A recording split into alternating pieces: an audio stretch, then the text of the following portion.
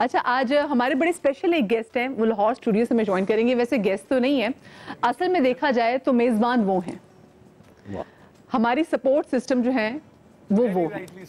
जब हम समा में काम करते हैं, हमें कोई भी मुश्किल हो, कोई भी परेशानी हो तो my always go to person और मेरी, मैं तो हमेशा बोलती हूँ कि नूर भाई, जैसे आपने, आपको मेरी आवाज़ भी पहुँची कि जो मेरा सुबह का समा, जो मेरा मॉर्निंग शो है, उसके जो हमारे, क्योंकि हम टीम की तरह काम करते हैं, कभी कोई ये नहीं बताता हमें यहाँ पे, हमारे चैनल में एक सबसे अच्छी बात है कि जी, मैं आपके सीनियर हूँ या मैं आपका बॉस हूँ। हमें हमेशा ये बताया जाता है कि हम आपकी टीम है। आपको कोई मुश्किल हो तो आपने हमारे पास आना है। तो जो हमारे सबसे सीनियर टीम मेंबर है चौधरी साहब आज मैं लाहौर स्टूडियो से हमारे नूर भाई के साथ मौजूद है। चौधरी साहब। अस्सलाम thank you very much for your compliments और ये ऑनेस्टली वाकया ही टीम है। टीम के बाद हम एक कंप्लीट फैमिली में कन्वर्ट हो गए हैं। अगर हम एक फैमिली की तरह काम ना करें तो ये जो आज सात आठ घंटे की ट्रांसमिशन आप लोगों ने रमज़ान में की और जिस तरह से की है और जितनी सुबह रफ्तारी से मैनेज की है, ये आप लोगों का क्रेडिट है। ऑनेस्टली मैं मैं all hands shake to compliments to your you your team your technicians every one involve और आप लोगों ने इस ट्रांसमिशन को जहाँ पे पहुँचाया है, मैं समझता हूँ कि पाकिस्तान के टीवी चैनल्स के लिए ये एक एजाज़ है कि कोई लोग इतनी मेहनत के साथ अपने नबी का पैगाम अपने अल्लाह का पैगाम लोगों तक किस जज्बे के साथ पहुँचाते हैं? और सबसे बड़ी बात यह है कि हमने किसी सेक्ट की बुनियाद पर काम नहीं किया। हमने अल्लाह के पैगाम को अल्लाह के अल्फाज में नबी की सीरत को नबी की सीरत के अंदाज में आगे पहुँचाने की कोशिश की है। और मैं इससे ज़्यादा मेरे लिए खुशी और इतमान की वजह नहीं हो सकती कोई कि हम अपने मज़हब को अपने ईमान को अपने फेत को लोगों को मज़बूत करने के लिए अपने पैगाम को आगे पहुँचाया और आपके तमाम पार्टिसिपेंट जो शरीक रहे डे वन से लेके आज तक, आप बदिया, आपके साथ नूर भाई ने जिस तरह ये अफ्तारी और ख़ास तौर पर इन्होंने जिस तरह सारी की ट्रांसमिशन को चार चाँद लगाए हैं वो हमारे लिए बड़ा मुश्किल हो गया है कि हम इस मैार को आगे कैसे बढ़ाएँगे। क्योंकि इन्होंने वो बुलंदियाँ छू दी हैं आप लोगों ने कि हमें इसमें आगे काम करने के लिए बहुत कुछ सोचना पड़ेगा और शायद पूरा साल अगले रमज़ान के लिए सोचना पड़ेगा। तब जाके शायद हम इस मैार को बरकरार रख सकेंगे।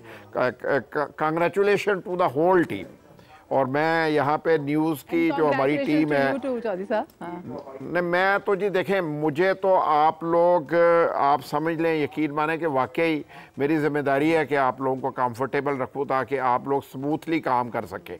और अगर मैं उसमें कामयाब रहा हूँ तो मेरे लिए दुआ किया कीजिए। बस मेरे लिए इससे बड़ा शायद कोई दूसरा कोई एसेट नहीं हो सकता। तो खुश रहें और आप सब लोग इसी तरह रमज़ान की ट्रांसमिशंस करते रहें अपनी ज़िम्मेदारियाँ पूरी करते रहें और लोगों को ये पैगाम देते रहें कि अगर हमने इस दुनिया में कामयाब होना है तो वो अमन सुकून तभी मुमकिन है अगर हम अपने दीन को मजबूती से थामे रखें और इस मजबूती के साथ थामें और मुस्लिम उम्मा के लिए एक काम कर सकें। जिस पैगाम को पहुँचाने की ज़रूरत है, बदकस्मती से नहीं पहुँचा पा रहे हैं। फ़लस्तीन में जो कुछ हो रहा है, जो कुछ मकबूजा कश्मीर में हो रहा है, जो कुछ हिंदुस्तान के मुसलमानों के साथ हो रहा है, जो कुछ रोहिंग्या में हुआ, बर्मा में हुआ लीबिया में हुआ, इराक़ में हुआ, अफ़गानिस्तान में हुआ, यमन में हुआ, हम मुसलमानों के लिए ये लम्हा फ़िक्रिया है। हमें ये काम करने की ज़रूरत है और ये पैगाम आज आप लोगों को देना है। कि उम्मत को एक करने का अलम जो है हम सबको मिल के उठाना है। ये किसी एक की ज़िम्मेदारी नहीं है। ये हम सब की जितबाई ज़िम्मेदारी है और हमें इसी पर काम करने की ज़रूरत है। तो, तो नूर भाई बहुत शुक्रिया आपका। जजाकुमुल्ला नहीं आप एक मिनट ठहरे। फसी भाई अस्सलाम वालेकुम। एक तो आपकी खिदमत में बहुत ज़्यादा और वो जो हमारा वो जो आपका सवाल था ना कि ये कहाँ कैसे कि इन्होंने सोचा तो ये जिनको आप अभी सुन रहे थे चौधरी साहब को ये इनका ब्रेन चाइल्ड था और इन्होंने ये सारा सोचा और ये ट्रांसमिशन और जो पहर हमें मिले सारी में इतने बाबरकत। और इनकी गुफ्तु से मुझे ये भी लगा मदिया कि ये बड़े डिसीज़न मेकर्स के लिए एक और लेवल की ललतुल जायज़ा है। उन सब बड़े लोगों को जायज़ा लेना पड़ेगा कि कहाँ कहाँ कमी है और कहाँ कहाँ हमें अपनी सफ़ों में इतिहाद रखना है। लेकिन चौधरी साहब मैं आपसे ये पूछना चाहूँगा कि जब एक कॉम्पिटिशन होता है चैनल्स के माबैन और वो उसमें बहुत सारे फैक्टर्स देखे जाते हैं आपके लिए कुछ और मुकदम रहा? मुझसे बाकायदा लोगों ने पूछा कि आप ऐसी ट्रांसमिशन कैसे कर लेते हैं?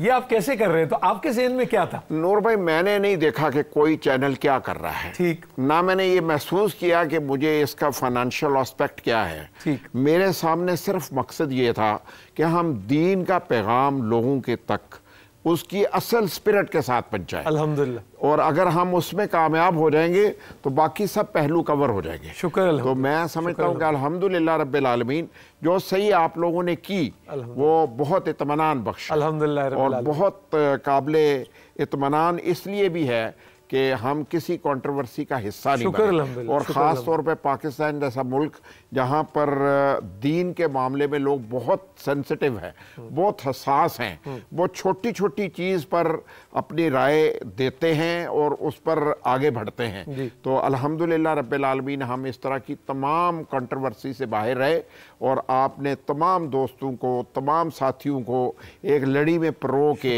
इस काम को आगे बढ़ाया है और ये आपकी टीम का आपके और बदिया की जो एफर्ट थी मैं समझता हूँ बहुत ही कामयाबी से आप लोगों ने इसको आगे बढ़ाया। फसी भाई इस वक्त में कोई शेर क्या आपका जहन इस वक्त क्या कह रहा है कि हम क्या सुन सकेंगे? सिर्फ़ एक बात। इससे पहले कि मैं फसी भाई की तरफ़ जाऊँ एक बात मैं अप्रिशिएट करना चाहूँगी बहुत सारे लोग जानते नहीं है हम जिस इस वक्त मुल्क में रहने जो महँगाई की सूरत हाल है समा क्योंकि चौधरी साहब यहाँ पे बैठे हुए हैं और हो सकता है लोगों को ज़्यादा बात पसंद है चौधरी साहब भी बाद में मदिया क्यों मेंशन किया है लेकिन हम जिस इदारे में रहते हैं यहाँ पे कोशिश होती है कि हर शख्स चाहे उसकी सैलरी कुछ भी हो अगर कम कम कमाने वाला है ना उसकी भी ईद बिल्कुल वैसी हो जिसकी जिसको ज़्यादा पे किया जाता है उसकी ईद होती है। ये वाहिद ऐसा इदारा है जहाँ पर लोग अपनी ईद पर अपनी तनख्वाहों का वेट कर रहे होते हैं।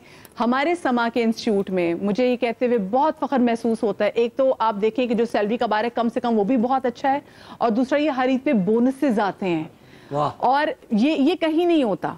जो मैंने देखा है ये कहीं नहीं होता ताकि लोगों की ईद अच्छी हो जाए जहाँ पे लोग सैलरी का इंतज़ार कर रहे होते हैं। तो यहाँ तो। पर ये वाहिद ऐसा इदारा मीडिया हाउस है कि चश्मे बदूर और अल्लाह पाक मतलब चेयरमैन साहब का भी शुक्रिया अदा करना चाहेंगे फिर ऑफकोर्स एडवाइजरी चेयरमैन साहब उनका भी हम शुक्रिया अदा करना चाहेंगे कि इतनी लोगों की अच्छी ज़रूर एक बात करना चाहूँगा। आज मीटिंग में भी ये बात हुई बोनस के ऊपर बात हुई थी तो अलीम खान साहब ने कहा कि अगर हम कहीं कमी कोताही कर रहे हैं तो उस वर्कर के साथ ताल्लुक नहीं होना चाहिए।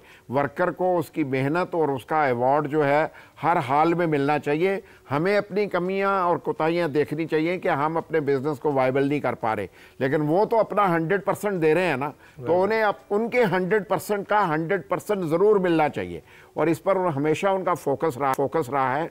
और वो ये समझते हैं कि जो लोग कम तनख्वाह पर काम कर रहे हैं उनको बेहतर तनख्वाह मिले और बेहतर रोज़गार के साथ साथ अच्छा माहौल और जो फैसिलिटेशन दी जा सकती है वो दी जाए और वो उनका प्राइम गोल है, जो समा में वो हमेशा रखते हैं, लेकिन इसके अलावा वो अपने बाकी अदारों में भी इसका पूरी तरह ख्याल रखते हैं। जिंदाबाद।